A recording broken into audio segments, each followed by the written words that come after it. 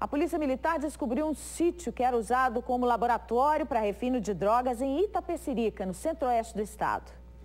Foram apreendidos cerca de 30 quilos de bicarbonato de sódio, 200 gramas de cocaína pura, balança de precisão, fogão e materiais para embalar drogas. Os produtos estavam neste sítio, próximo ao distrito de Marilândia, em Itapecerica. Nós chegamos no local a partir de levantamentos iniciais realizados pela Polícia Militar e esses levantamentos foram corroborados por denúncias anônimas. De acordo com a Polícia Militar, o local funcionava como laboratório para refino de droga. O local encontrava-se fechado.